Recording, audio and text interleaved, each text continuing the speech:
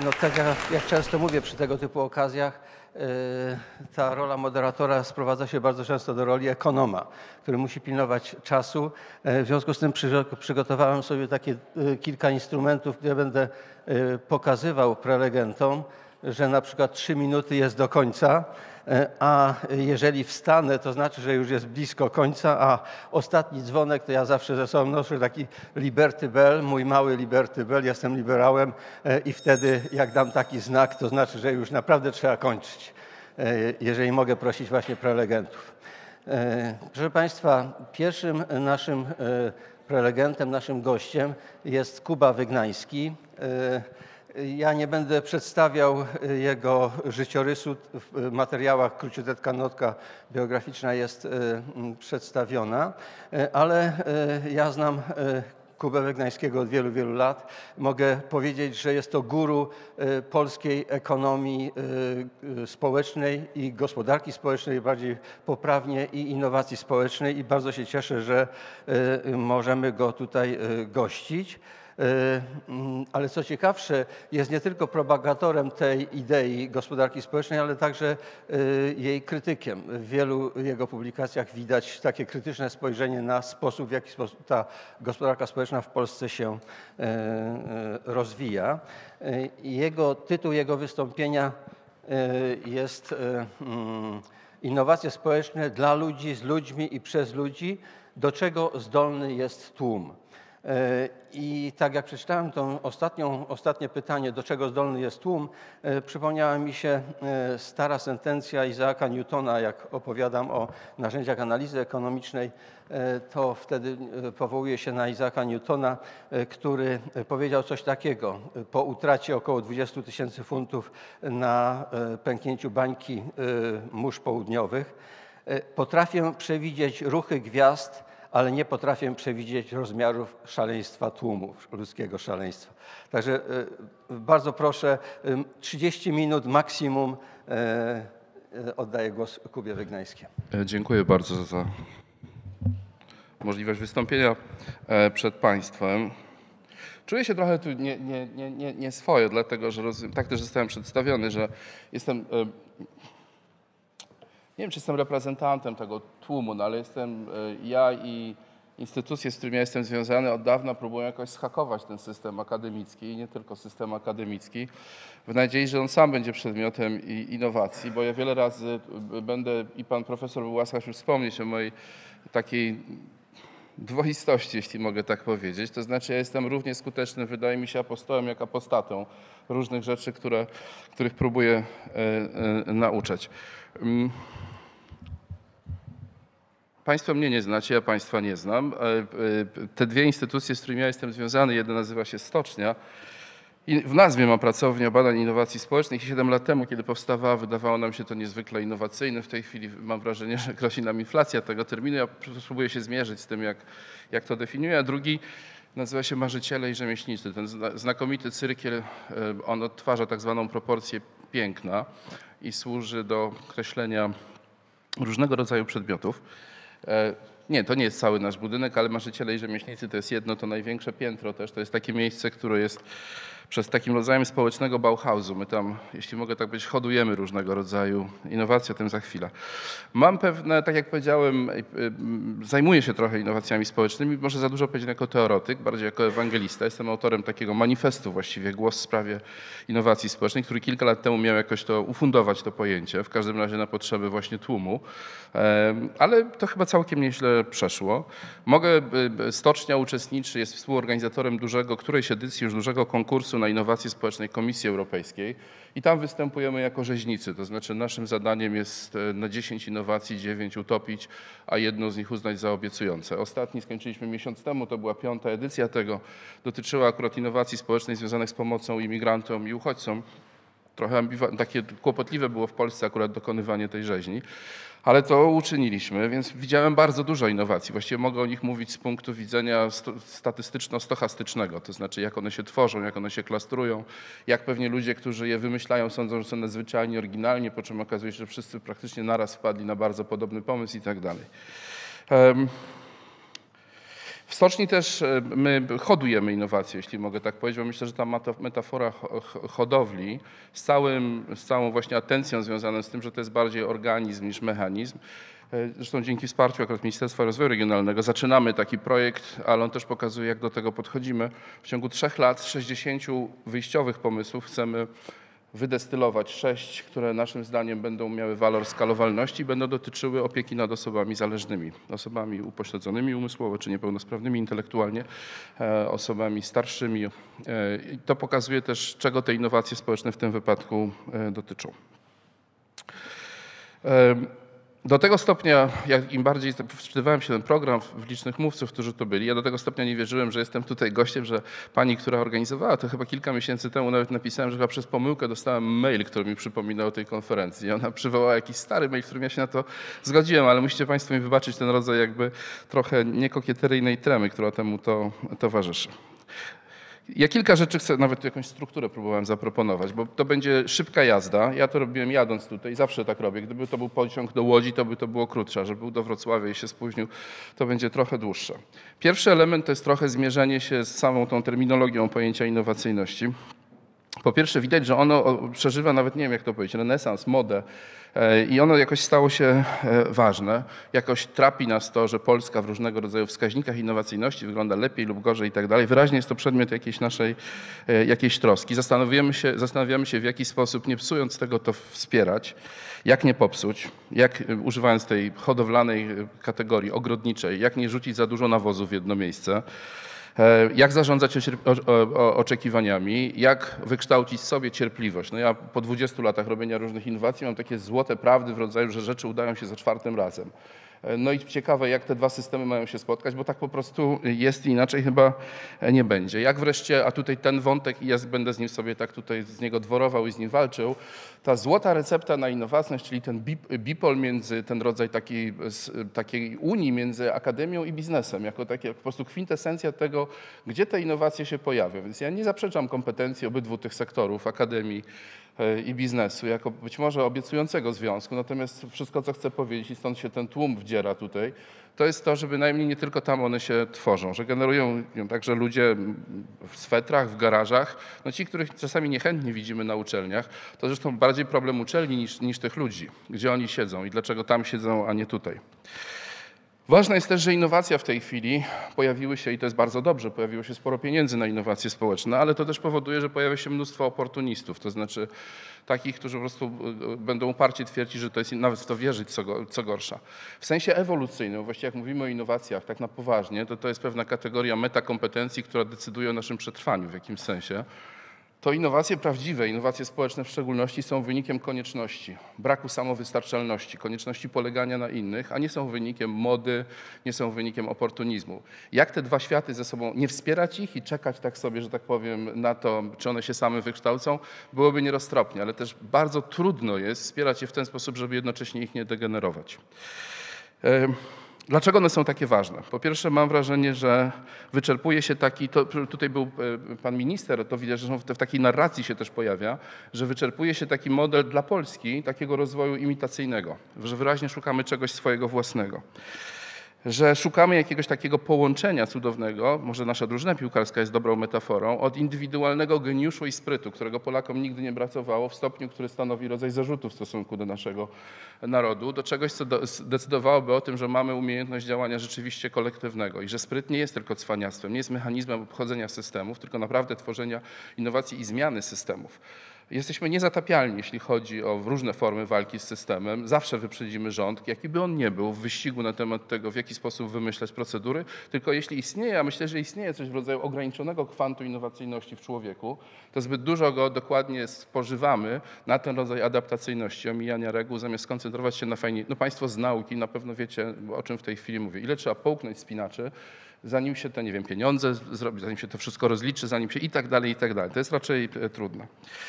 E, Wierzymy chyba też, że innowacyjność jest istotnym elementem takiego jej sprężyny ekonomicznej po prostu. Że ten, no różne są metafory w tej sprawie. Kto tam, kto, kto nie jest innowacyjny, ten się cofa de facto. Jest ta narracja polityczna, że właściwie innowac- jeżeli nie mamy innowacyjności w sobie, to znaczy jesteśmy imitacyjni, to znaczy, że właściwie w pewnym języku jesteśmy skolonizowani, jesteśmy eksploatowani, jesteśmy tylko tanią siłą roboczą.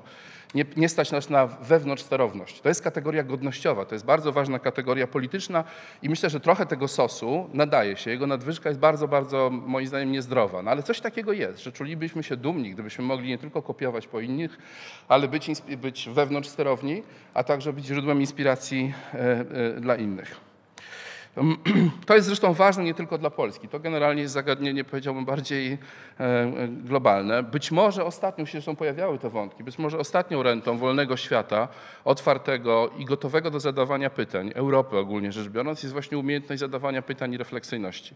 Jeśli chodzi o klasyczne mechanizmy skutecznościowe, także w kategoriach czysto rynkowych, to nikt nie przeprowadził dowodu, że demokracja jest nagradzana, że otwarte społeczeństwa są nagradzane. Co więcej, wszystkie wschodzące potęgi ekonomiczne, nie wszystkie, ale w znakomitej większości, bardzo dobrze potrafiły ten system rozmontować na poziomie metakompetencji, rozłożyły, no Chiny są tutaj klasycznym przykładem, rozłożyły te elementy otwartościowo-demokratyczne od tego, co po prostu polega na łapaniu myszy, jak powiedział klasyk, bez względu na to, jaki jest kolor kota. I te kraje są znacznie silniejsze niż my i widać, że wcale nie ma oczywistej renty, w każdym razie ekonomicznej. Więc jeśli istnieje jakaś nagroda tak naprawdę dla Europy i wielka nadzieja, to to, że gdzieś z tej tradycji Grecji, która polega jednak na. Nie, nie bez powodu Chińczycy wysyłają studentów na europejskie, amerykańskie uniwersytety. Sama kultura dydaktyczna w Chinach polega na w gruncie rzeczy niechęci do zadawania pytań. Tam tego w ogóle nie ma.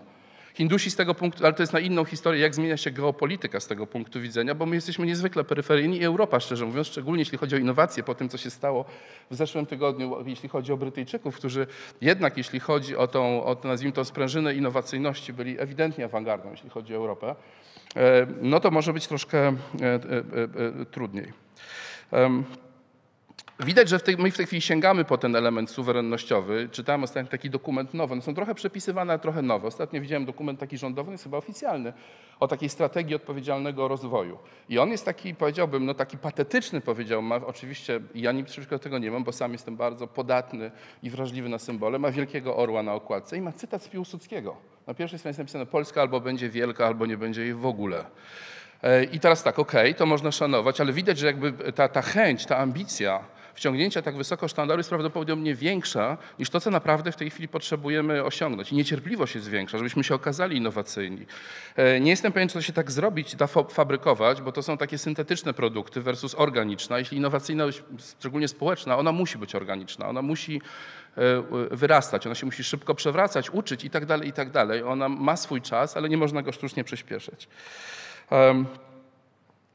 Dlaczego w tej chwili to się takie stało ważne, ta innowacyjność? Wydaje mi się, że dlatego, że wszyscy, ja należę, Tomek Prokowski mówi tutaj o tych różnych wywodach na temat, ja należę do katastrofistów, to znaczy zdecydowanie im więcej wiem, im więcej czytam, tym więcej wydaje mi się, to chyba jest naturalne i to świadczy o jakiejś głębszej, nie chcę mądrości, ale refleksyjności, że coraz mniej wiemy. Nie wiemy, nic, mało wiemy o tych kijach, kijach hokejowych, jak to się będzie, a już o związkach między nimi wiemy najmniej.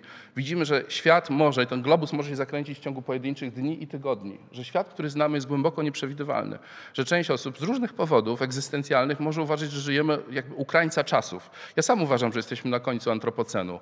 To znaczy, że technologia jest czymś, co nas przerasta. To znaczy, co my wyhodowaliśmy, co dało nam muskulaturę, ale ilość naszych mięśni w stosunku do naszej roztropności w ich używaniu jest po prostu kompletnie, znaczy to my wyglądamy na bardzo masywnych osiłków, o bardzo małym bardzo często mózgu i bardzo małym sercu, bo te rzeczy należą do kategorii po co to używać, należą do kategorii celu, a nie do kategorii tego. Nas tak uwodzi to, że rzeczy możemy robić. Spotykam wielu innowatorów, którzy mówią, dlaczego to zrobiłeś? No, bo mogłem to zrobić. To nie jest, to nie jest jednoznaczna, to nie jest wystarczająca odpowiedź.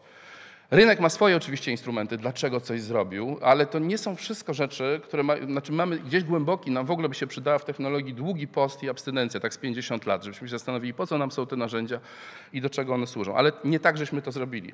Nasz paradygmat rozwoju, jeden z tych poprzednich konkurs był nazywany ciekawe, The Way to Growth. No super. Komisja, pani Bienkowska zresztą, wymyśliła, że to będzie konkurs na innowacje, jak wzrastać. Pamiętam, że szedłem wtedy ulicą i próbowałem znaleźć, wyrekrutować jurorów do tego. I widziałem taki spray na Pałacu Kultury od kogoś jakichś kosmopolitycznych, pewnie lewaków, z napisem The only sustainable growth is degrowth. No i jakby ja szczerze mówiąc zgadzam się z tym e, i że nie da się tak bez przerwy uciekać. To znaczy my palimy meblami w tej chwili. Widać, że tego będzie za mało, że większość konfliktów, które mamy, to są konflikty o zasobę. To już nie jest tylko, to nie jest paliwo, to nie jest woda, to jest piasek, to jest mnóstwo innych rzeczy, o które w ogóle nie myśleliśmy, że wracamy do takiego poziomu, w którym my nie potrafimy dobrze zarządzać zasobami, które mamy, nie tylko vis-a-vis przyszłe pokolenia, ale także w tym miejscu, w którym my jesteśmy. Jedna z najciekawszych, a najprostszych rzeczy, jakie czytałem o przyszłości społeczeństwa w ogóle, a nie tylko obywatelskiego, dotyczy bardzo prostej czteropolówki, to znaczy ile będzie zasobów, dużo, mało i czy potrafimy je dzielić kooperatywnie, czy rywalizacyjnie. To wykształcają się z tego cztery takie ciekawe zresztą scenariusze, które w wielu jako typy idealne oczywiście pozwalają wyjaśniać to, z czym w tej chwili mamy e, do czynienia. Widać też, że zawodzą takie tradycyjne szkoły myślenia o strategiach. Dawniej, bo generalnie strategie to jest to, co, co, schodzi z wojska do rządu i czasami do biznesu, tak to się rozgałęzia. Wojsko jest na ogół pierwsze, które myśli o tym. I widać, że ten cały mechanizm, który dawniej znaliśmy, to czego uczyliśmy się, że mianowicie, już mówię taką retoryką wojskową, że dobrze wiedzieć, że żeby wiedzieć, jak rozegrać bitwę, to trzeba przeczytać te wszystkie historie bitew. Wiecie, tam, te, tam jak to było i jak on wtedy to zarządził, od, tak, od starożytnych sztuk walki. No, w tej chwili wydaje się, że rzeczy są bardziej skomplikowane i ogólnie rzecz biorąc, przeszłość nie wyjaśnia przyszłości. Te rzeczy, z którymi mamy, mają charakter precedensów. Jest nawet nowa kategoria taka ontologiczna problemów, wicked problems, splątane problemy, o których nikt jeszcze nigdy nie słyszał. One nie były rozwiązywane do tej pory. Na nic nam eksperci, bo ich kompetencja, poza tym, że nigdy nie dotyczy pytania czy, tylko dotyczy pytania jak, Często wygodnie nam jest zawołać ekspertów, bo wydaje mi się, że oni rozwiążą ten problem, ale ona taka nie jest. Więc pierwsza rzecz, która w strategiach nie działa, to jest to, że z przeszłości wywieziemy przyszłość. Druga, że chyba strasznie to nauka chyba nas tak ukąsiła i to ma pewne oczywiście racjonalności, szczególnie w kraju, w którym się ignoruje dowody, ale że olbrzymia ilość danych nam po prostu to wyjaśni. Teraz widać, że wcale gromadzenie, zresztą też była o tym mowa, ile tych danych kompletnie nie ma żadnego sensu. Ważniejsza jest intuicja, szybkiego rozpoznawania wzorów między nimi. I do tej pory, jak pewnie może będzie często powiem o civic science, ale generalnie tylko ludzie potrafią, patrząc na te rzeczy, zobaczyć, czy to są komórki rakowe. Znaczy jest bardzo dużo rzeczy, których może szczęśliwie jeszcze brutalna siła obliczeniowa komputerów nie robi, a robi to tylko nasza intuicja, żeby zrozumieć, jak to się układa i co z tego może być. W tym jeszcze przez chwilę jesteśmy do przodu, ale już niedługo. I trzecia rzecz to jest taka, że mamy bardzo silne przekonanie do tego, że żeby wygrać wojnę, trzeba mieć po prostu systemy dowodzenia, które łączą ten arcymózg, tego najważniejszego, tego demiurga, wodza, z tymi do, tym ostatnim żołnierzem na linii frontu.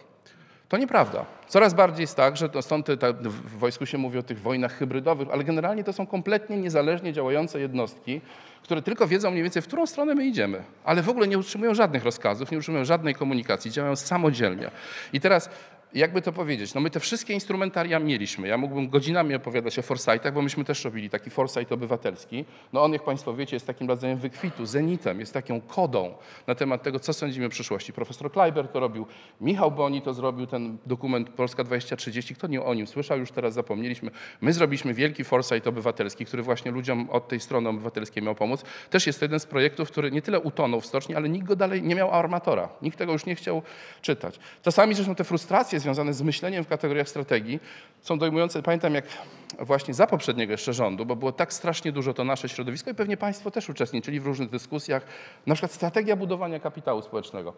Setki, tysiące godzin, stron i pytam jednego z naprawdę wysokich urzędników, ale co się dzieje z tą strategią? Mówi, teraz to się nic nie dzieje, bo teraz jest ważna expose. I to nie zmieniło się. To znaczy, że polityka nagle przybiera taką formułę, w której te wszystkie rzeczy możecie odłożyć na bok, bo nie o to w ogóle chodzi. Dlaczego one są takie e, ważne, te innowacje? Po pierwsze, no, pomijam te względy instrumentalne, że jest moda, pieniądze i tak dalej. Co drugi młodzian chciał być hipsterem, mieć wełnianą czapkę, brodę, Macintosha, siorbać kawy uważać, że jest po prostu kreatywną klasą.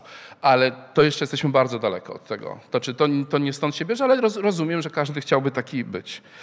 Na pewno jest to, co już e, tu w zaklęciach powtarzam, ten, ta, ta permanencja zmiany znaczy, że cały czas czujemy, jak ktoś z Państwa, część jesteście bardzo młodzi, ale część ma, może mieć dzieci, ja mam trójkę, jak patrzycie tak naprawdę, w co ich wyposażyć, no to zdajecie sobie sprawę, że już nie ma takich gwarantowanych zawodów. Może dentysta, nie wiem chirurgia estetyczna, może prawnicy, nie mam pojęcia, ale generalnie widać, że o przetrwaniu zadecyduje to pojęcie jakiejś odporności. No czasem mówi, spolszczenie resilience do rezyliancja jest beznadziejne, no ale to raczej chodzi o taką trawę, która zawsze powstanie, która wie, w którym nie da się ugotować jak żaba, która rozumie, że coś się zmieniło. Generalnie potrafi manewrować w przestrzeni jako indywiduum, jako zbiorowość. To jest zresztą największa sztuka, więc ta innowacyjność w tym rozumieniu jest tak, jak dawniej dzieci pewnie niektóre się tylko uczyły pływać, bo zakładano, że to jest rodzaj fanaberii. W tej chwili wiem, że to jest life skill, to znaczy albo tego, nie, albo jak nie, jak nie będziesz, jak to mówił jeden z taki, taki ładne hasło jest szkoły kodowania. Koduj, bo zostaniesz zakodowany. To znaczy, że musisz przejąć kawałek kontroli nad sobą, bo inaczej będziesz częścią czyjegoś cudzego sk- skryptu. Em, Zawodzą te tradycyjne rezerwuary innowacji, to znaczy uczelnie są na pierwszym tutaj, że tak powiem, na pierwszej linii strzału. To domniemanie, że trzeba być profesorem albo mieć te wszystkie fartuchy tam i wszystkie te tytuły, bo to na pewno stamtąd przyjdzie źródło oświecenia. Umyślnie dworuję, trochę przesadzam, ale trochę, ja naprawdę mam bardzo dużo za sobą potyczek z, z, z uczelniami. To nie jest łatwe. Widać, że to, co najciekawsze w innowacjach, pojawia się pomiędzy. Zresztą my w Warszawie, jak operujemy, ten marzyciele i rzemieślnicy, trochę słabo śpię, bo nie ma tam ani złotówki publicznych pieniędzy, jest kredyt, który jest pod moją hipoteką i ja wierzę, że to zacznie działać, tylko model jest taki, że ludzie będą chcieli, kupują karty członkowskie, będą chcieli się spotykać, razem pracować. I jak żeśmy zaczynali, to tego nie było. W tej chwili Warszawa ma 90 coworków, które są oczywiście firmami. Ma Google Campus, ma co drugi uniwersytet za takie kwoty typu 60 milionów euro wybudował budynki większe niż ten. E, Banki zaczynają mieć tak zwane re- oddziały relacyjne, nie będzie żadnego kasy. Wszyscy wierzą, że wystarczy mieć płaską podłogę, pufy i hulajnogi wszyscy będą Googlami. I teraz problem, i biznes ma swoje, miasto ma swoje, każdy mieć, chce mieć swoje miejsce, gdzie będzie to hodował. Problem polega na tym, że ta cała chemia rodzi się pomiędzy, ona jest głęboko nieprzewidywalna. To jest jedna z tych rzeczy, która jest najtrudniejsza w innowacji, że do cholery nie wiesz, jak one powstaną, że one są, one są przedmiotem jakiegoś procesu zderzania, który trzeba umieć y, dobrze hodować. Jeśli, nie wiem, czy pan profesor będzie pokazywał słynną spiralę, no ale widać, że między iskrą, których jest mnóstwo, a tym, że coś naprawdę zadziała, zresztą to było widać, jak powiedziałem, że z 60 tylko 6, jest bardzo długa droga. I co więcej, w tym ekosystemie wcale nie przetrwają ci, zresztą nigdy żaden model em, ek- em, em, em, em, ekosystemów nie zakładać, że przetrwają przecież naj, naj, naj, najzdolniejsi, najbardziej cnotliwi. Nieprawda. Nagradzana będzie szybka, sz- jest rekonfiguracja i szybka adaptacja. Te skalowalne projekty często są takie, no, nauka jest pełna takich projektów, są strasznie fajne, tylko nie da się ich powtórzyć. Nie tylko dlatego, że metodologicznie ona jest niefalsyfikowalna w sensie takim poperowskim, ale także dlatego, że po prostu tak dużo kosztują, że nikt tego nie jest w stanie zrobić. Tego się nie da wdrożyć. Są zupełnie nowe problemy, te takie typu wicked problems, o których my do tej pory bardzo mało wiemy. W tych dziedzinach społecznych cały czas z liceum pewnie ze studiów pamiętamy jakieś drabinie Masłowa czy Maslowa, e, ale widać, że to tak nie działa. To znaczy, że na przykład no w szczególności w tej części świata, w której my żyjemy, to nie jest tak, że ludzie mają problem z kaloriami. Mają ich za dużo. To nie jest ten problem. To są problemy godnościowe, tożsamościowe. I nie jest tak, że najpierw trzeba ludzi nakarmić, a później będą jakoś lepiej o sobie myśleć, odnajdą te w sobie inne potrzeby, jakąś dumę z siebie. Jest dokładnie odwrotnie. Najpierw muszą mieć poczucie sensu, dumy i później mogą pracować nad tym, żeby nie być klientami. Ale to się zupełnie, widać, że w ogóle zmieniają się troszkę teorie też interwencji. One się robią bardziej subtelne, one są bardziej tak jak w miastach się czasem mówi o miejskiej akupunkturze. Nie wiesz dlaczego postawienie w tym miejscu, wszystko jedno, niech to będzie już klubo kawiarnia, ścierpię to. Ale dlaczego tak jest, że to nagle coś z tego promie- promieniuje? Że my po prostu nie mamy takich klasycznych modeli urbanistycznych, że tutaj aleja, tutaj, tak to nie działa w tej chwili. Miasta robią się bardzo złożonymi organizmami, ciężko się nimi zarządza. Właściwie pojęcie zarządzania miasta, które jest organizmem, jest prawie oksymoroniczne. Tego się po prostu nie da robić. A jednak to jakoś działa i tego się uczymy. Ale źle z tym czasem. E, Wyzwania demo, przepraszam, ale muszę, bo tu jest za dużo. Dlaczego są bardziej możliwe? To, to miało dawać jakąś nadzieję. Po pierwsze pojawiają się te, inno- bo są potrzebne, to rozumiem, jakoś udało mi się, nie wiem czy, ale przekonać Państwa może. Na pewno jest tak, że właśnie pojawiło się znacznie więcej uczestników tej gry. Dostęp do wiedzy jest znacznie bardziej e, zdemokratyzo- zdemokratyzowany. No właśnie, każdy myśli, że coś wymyślił, po czym w Google, ja, ja tak co, co drugi dzień. Naprawdę? Nie, to muszę przykłady pokazać. Nie, to nie. To powiem o definicji wobec tego. A może pani dołożę. No. O definicji. Jak rozumieć? to? Ja napisałem nawet książeczkę, która nazywa się Głos o innowacjach, ale e, wydaje mi się, że to jest tak, że my jesteśmy w takiej fazie i to jest część piękna tej innowacji społecznej, że ona jest jeszcze, to jest taki quasi-koncept tak naprawdę, nie jest dojrzały. E, Kiedyś e, Wolfgang Pauli o innej teorii dotyczącej akurat mechaniki kwantowej powiedział, że to nie jest, jak on powiedział? To nie jest dobra teoria. Ona nawet nie jest zła. E, To znaczy, że to są takie sytuacje, w których my tak mało wiemy, że właściwie bardzo trudno nawet to ocenić. Trudno się to falsyfikuje.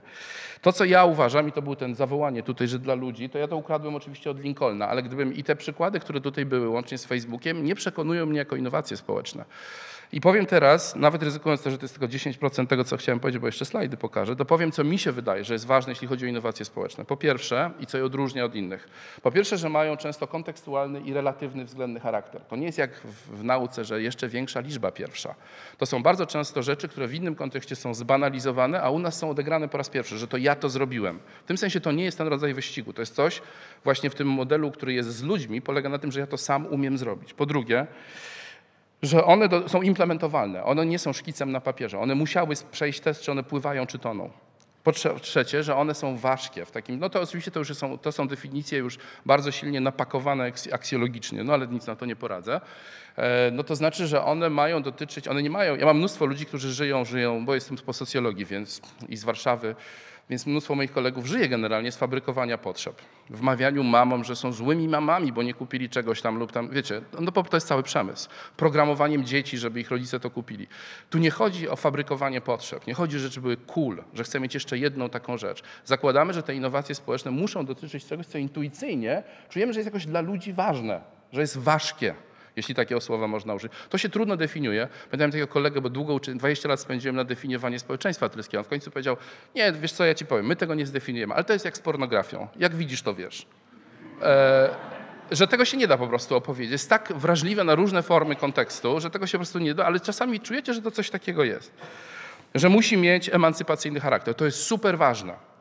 Z tego punktu widzenia Ubery, różne takie rzeczy, co my na co dzień z nimi żyjemy, mm-mm, emancypacyjny i w tym sensie on jest prometejski, że ludzie muszą, tak jak ta rurka, którą pokazywał Tomy, to musi być coś takiego, co ja wiem, jak się używa. To nie jest to, że ja wezwę firmę, która rozwiąże ten problem, zoptymalizuje mi, policzy to. To nie na tym polega. To są rzeczy, które dają ludziom wyposażenia do codziennego działania, że są efektywne i tak dalej.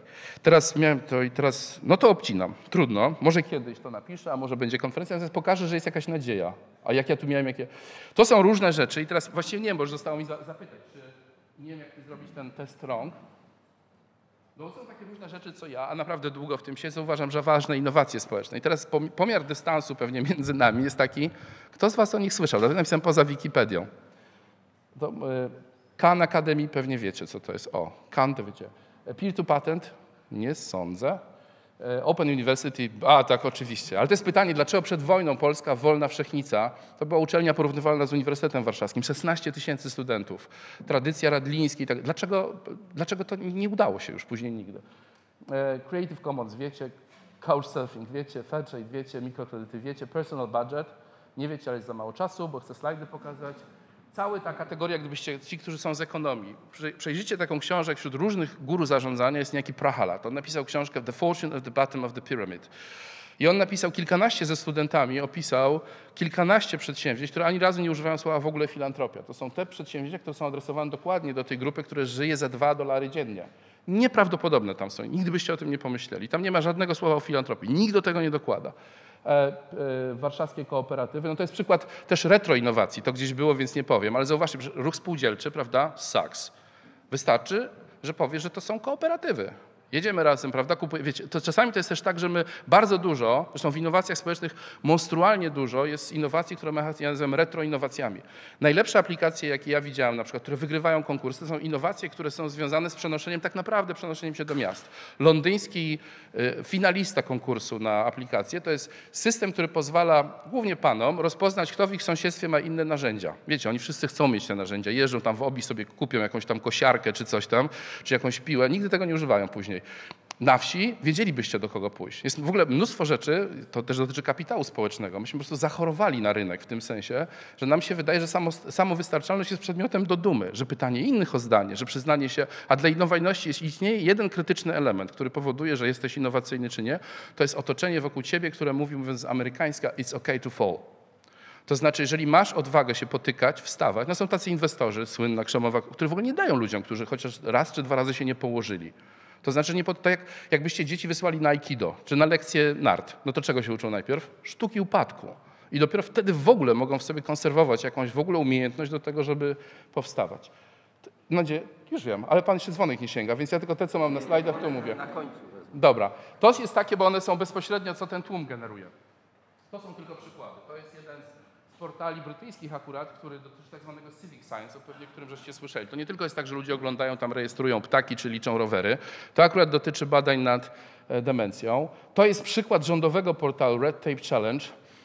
Mają go też Amerykanie. W Polsce miał powstać, ale jakoś jeszcze nie powstał, w którym e, e, rząd, administracja ma odwagę powiedzieć i zrozumieć, że jest to dowód siły, a nie słabości. Słuchajcie, mamy problem. Może pozwol, po, razem wymyślimy, jak go rozwiązać. To, co teraz. Ja nie jestem entuzjastą dobrej zmiany, nie będę czynił z tego e, e, e, tajemnicy, ale to nie o to chodzi, bo też nie chcę być oportunistą.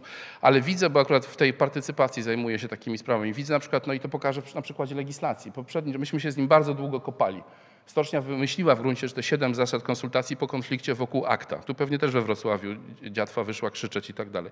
No ale poprzedni rząd miał mniej więcej 19% ustaw, które omijały system konsultacji, wkładając je jako projekty poselskie. Ten ma 77%. Wysłuchania publiczne, z których nic, znaczy strasznie trudno się przebić. To jest taki rząd, który jest muskularny, jest skuteczny. No trochę jest jakoś, znaczy on uwodzi tym. Tamten był taki jakiś, prawda, takie gadanie i nic z tego nie może wyniknąć. Ten ma muskuły, ale no to jest szczególny sposób, powiedziałbym, zależności. Yy, taka, dobra, ale generalnie w Anglii potrafią pytać. To jest coś, co robiliśmy akurat z Ministerstwem Rozwoju Regionalnego. On się strasznie nazywa Collab, ale sześć czy siedem takich rzeczy zrobiliśmy. To jest prosta zasada. No, przez jakieś pół roku na przykład spotykamy się w tym samym gronie. Właśnie kapitał społeczny jest duży. Tam może być ktoś, kto jest wiceministrem i ktoś, kto jest y, indywidualną osobą. Siedzą i nie wyjdą z tego pokoju, dopóki nie rozwiążą tego problemu. Otwarta Warszawa. Na poziomie miejskim to jest łatwiejsze. Miasta w ogóle są takimi miejscami, które bardziej szybciej chwyciły tą kategorię smart i my tam i mieszkańcy.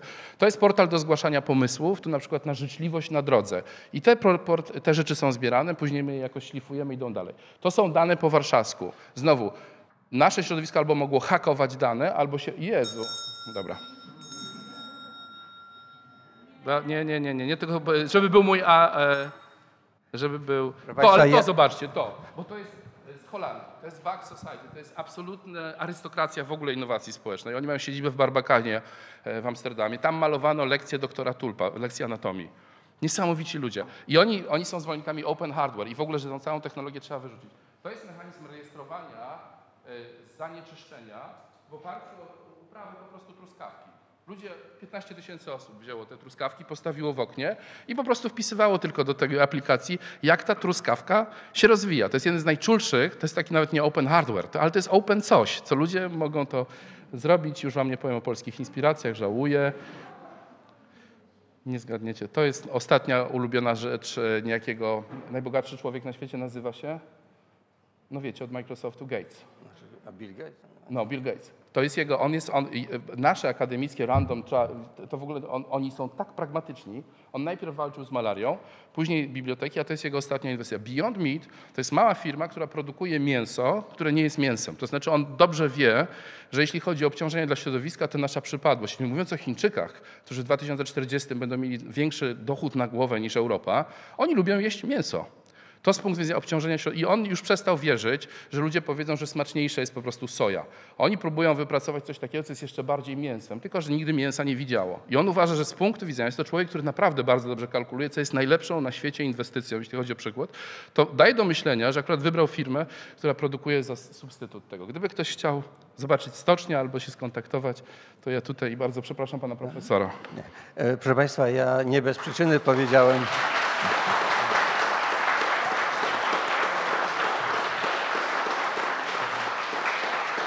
ile tu ja wiem, ja wiem, proszę Państwa, że ja działam okrutnie. Chcielibyśmy, żeby słuchać Kuby Wegnańskiego e, jeszcze dłużej e, i ja nie bez przyczyny te zastrzeżenia na początku powiedziałem. E, To jest może przedsmak tego, co mogłoby być, gdyby go zaprosić na cały dzień tutaj i podyskutować. Ale Panie Kubo, bardzo proszę, pięć minut na pytania. Bardzo, bardzo proszę, mimo że jesteśmy spóźnieni, na to powinien być zawsze czas, bo to jest najważniejsze. Bardzo proszę. Czy jakieś pytania, komentarze są? E, bardzo proszę. E, ja niestety nie mogę dać tego mikrofonu.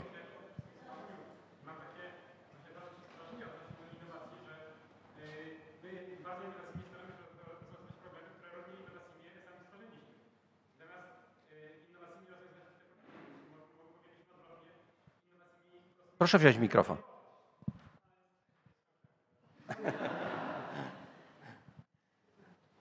Ale no mogę to, my sobie sam, na większość problemów sami generujemy.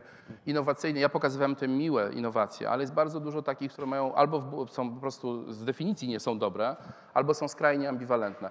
Jedna z tych aplikacji, zresztą moja ulubiona, nazywała się z tych danych po warszawsku Bezpieczna Warszawa. I to było proste. To polegało na tym, że jak ktoś wychodzi, na przykład z demencją, albo jest osobą, która cierpi na jakąś chorobę, nie wiem, padaczkę, to że jak się czuje źle, to naciska jeden guzik.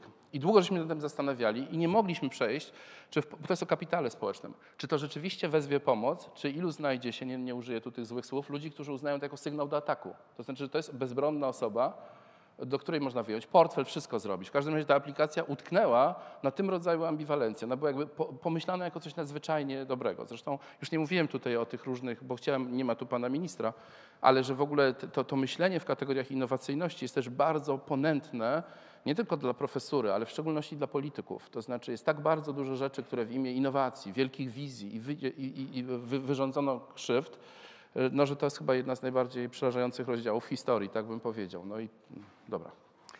Dobrze. Czy jeszcze jakieś komentarze, pytania? Bardzo proszę tam.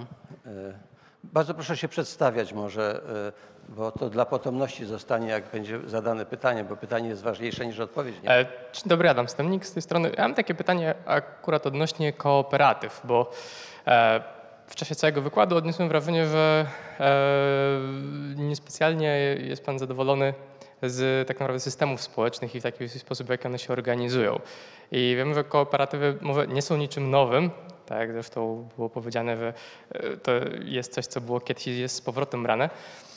Natomiast już spotkałem się wielokrotnie z opinią, że to może być e, rozwiązaniem wielu różnych problemów społecznych, jakie w dzisiejszym świecie się pojawiają. I jakie jest Pana zdanie na ten temat? E, Jest, znaczy ja jestem, pan tu mnie przedstawia kogoś, kto jest krytykiem też ekonomii społecznej, ale jestem wielkim miłośnikiem e, kooperatyw, znaczy w ogóle kompetencji do współdzielenia się. Bardziej mnie martwi to, w jaki sposób my w sobie samych zamordowaliśmy tą skłonność do współdziałania, bo teraz dopiero to nowe pokolenie w ogóle odkrywa, no, kto z Państwa ma Spotify? Hmm? Ja mam. I, I to ten premium, więc płacę. Ale wiecie o co chodzi. No to jest taka sytuacja, że już nie, nie, y, młodzi nie zadają sobie, jak to jest możliwe, że mam dostęp, nie posiadając na własność, do właściwie całej prawie muzyki, jaka istnieje. Że w ogóle są inne kategorie i modeli biznesowych, inne kategorie współdziałania. Jestem wielkim entuzjastem ruchu ko ko. Uważam, że to jest jedno z największych w ogóle znalezisk, że potrafiliśmy ten gen posiadania rzeczy, które później posiadają nas. Ale to w dyskusji teraz o mieszkaniach. Widzieliście, bo to jest do tego dotyczy. Dania, Szwajcaria ma 60-70% y, mieszkań na, wynaj- na wynajem. W Polsce być może to jest choroba związana z tym, że poczucie własności to jest poczucie bezpieczeństwa. To, że wszyscy są zakładni, ja też mam kredyt we frankach, a oszczędności w funtach, więc nie, nie mam dobrego humoru. Nie jest ich dużo zresztą, ale ale no sam się na to w jakimś, ale to jest rodzinny dom, więc się na to skazałem. Natomiast to, że w czymś takim żyjemy, to rzeczywiście w jakimś, to, to jest głę- głęboko. Ja pamiętam taki miałem, bo to właśnie ktoś z moich kolegów chyba duże pieniądze zrobił na reklamie kredytu hipotecznego. Nie wiem, czy on był tylko w Warszawie, czy może tutaj też był. Miał taki znak, na którym było przenieść się i jedna ulica była wspólna. Istnieje w Polsce, w Warszawie ulica wspólna, fajna, i drugie było na własną. I że to było takie jakby, to była kwintesencja tego i na pewno oni w dobrych badaniach wyszło im na to, że po prostu ta własna będzie z całą pewnością lepsza niż ta wspólna. Więc ja mam wrażenie, że po tych 20 myśmy się strasznie ukąsili rynkiem. To znaczy, ja nie mam nic przeciw, bo pan, pan się definiuje jako, e, no właśnie, liberał, libertarian, nie wiem właśnie, możemy podgadać, ale myślę, że to, ja nie mam nic przeciwko rynkowi, ale to, że mentalnie pomyśleliśmy, że w ogóle tak się da zorganizować społeczeństwo, że dobra publiczne wytwarzają się przez grę grupowych egoizmów, to jest jakoś tak, to, to ja jestem Ale republikanin. to jest źle rozumiany liberalizm i wolny rynek, bo wolny rynek to jest współpraca przede wszystkim i, e, i kooperacja. Ostatnie pytanie, bar- o, może tam, ostatnie pytanie, bo pan już zadawał, bardzo proszę. E, proszę państwa, ja już podejrzewam, że e, pan Kuba nie będzie jadł lunchu, bo będzie oblegany i będzie... e, Y, Ja bardzo krótko. Pierwsza kwestia, Bartłomiej, Bartłomiej Skowron. Pierwsza kwestia, doskonały wykład, dziękuję. Druga rzecz jest taka, wspomniał Pan na marginesie o tym, że niektórzy ludzie mają na bakier z uczelnią. Y, I tak Pan skomentował to bardzo krótko, dlaczego może oni powinni nie mieć na bakier, ale jednak mają na bakier. Mógłby Pan jak gdyby jakoś y, więcej y, o tym opowiedzieć? Dlaczego jest tak, że niektórzy, którzy mogliby pracować powiedzmy na uczelniach nie pracują? No nie wiem, czy pan chce zrujnować swoją karierę, bo ja już nie zrobię, wie pan, w świecie akademickim. Ja próbowałem e, nawet przez, przystąpić do studiów doktoranckich, ale e, po miesiącu uznałem, że czytanie lektur z, lat 70. E, współcze- jako dorosły człowiek już właściwie e, to robiłem. Studenci, którzy grają w, i to dobra uczelnia, na- najlepsza w Polsce. E, No po prostu od, odbębniają te godziny. Znaczy, gdybym ja zaczął w tej chwili, to, to wtedy mnie wyproszono stąd. To znaczy mój pogląd na temat tego i to pewnie to miejsce akurat nie jest dobrym do tego, bo rozumiem, że ono jest częścią takiego myślenia o tym, że to da się zmodernizować. Natomiast ja uważam, że uniwersytet, jak jestem i wielkim, napisałem pracę nawet kiedyś na temat koncepcji takiej, powiedziałbym, oryginalnej koncepcji uniwersytetu, akademii jako, jako szkoły. Stocznia jest tego emanacją. Stocznia miała w ogóle być czymś, co miało wyrosnąć z Uniwersytetu Warszawskiego jako takie miejsce, które w jakimś sensie formuje ludzi, bo to jest dobre słowo, bo oni już wiedzą.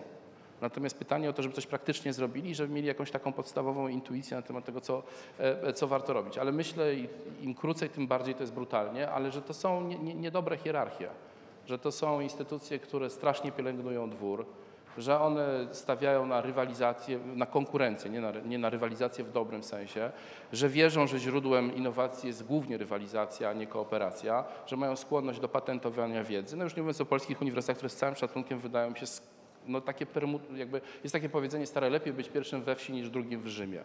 E, I myślę, że wielu szefów różnych uczelni, wydziałów mogłoby je sobie jako swoje credo e, wymienić. Więc ja, i tutaj zresztą były takie, jak my nie zrobimy uczelni, w których ludzie chcą zostawać.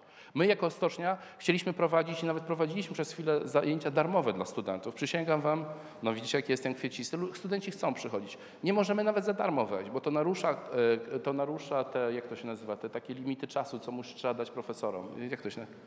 Ono pensum, no słowo, tyle mam słów, a tym wokabularzu nie miałem. Ale generalnie okazało się, że nie możemy tego robić, chyba, że e, zrobimy to za kogoś, to znaczy pod jego nazwiskiem. No jakiś kompletny absurd. No, kompletny. My mamy taki projekt PhD, i to, o, to jest dobry przykład, bo wczoraj pisałem uzasadnienie. Mamy projekt, nazywa się PhD. Jak powiedziałem tego na takim spotkaniu zagranicznych uczelni, to oni mówią, ale fajnie, no klepali się pora tego, mówią, od razu rozumiemy, że PhD i PhD to nie jest to samo. Próbowaliśmy, bo to jest, to jest stypendium, które przyznajemy dwa stypendia w roku. Ostatnio było 160 kandydatów na robienie czegoś praktycznego w stoczni. Musimy przeprowadzić to przez Ministerstwo Nauki, bo to jest normalnie takie oflagowane.